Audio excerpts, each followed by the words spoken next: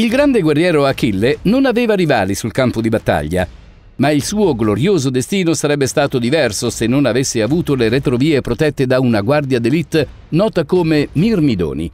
Si trattava di guerrieri temibili e lavoratori instancabili, la cui origine risale a una creatura minuscola, ma altrettanto coraggiosa e instancabile dei Mirmidoni.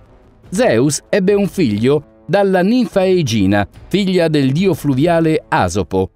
Da questa unione nacque Eaco e, come decine di altri figli bastardi di Zeus, fu perseguitato senza sosta dalla dea Era, moglie di Zeus. Eaco continuò a governare l'isola di Egina, chiamata così in onore di sua madre. Ma la dea Era non voleva che un altro figlio illegittimo di Zeus vivesse in una posizione così onorevole e privilegiata, perciò decise di compiere la sua vendetta.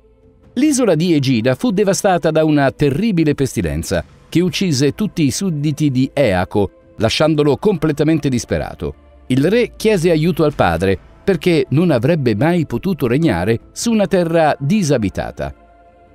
Da un formicaio, Zeus fece uscire i sudditi che suo figlio Eaco aveva implorato. Queste formiche diventarono uomini forti e coraggiosi, oltre che instancabili lavoratori. Una parte di questi uomini fu addestrata per formare un esercito noto per marciare su lunghe distanze e per essere fedele ai propri padroni. Eaco ebbe due figli famosi, Telamone di Salamina, padre di Aiace il Grande, e Peleo, padre del glorioso Achille. Con i Mirmidoni al suo fianco, Achille immortalò il suo nome grazie alle sue gesta al fianco di questi guerrieri davanti alle mura di Troia.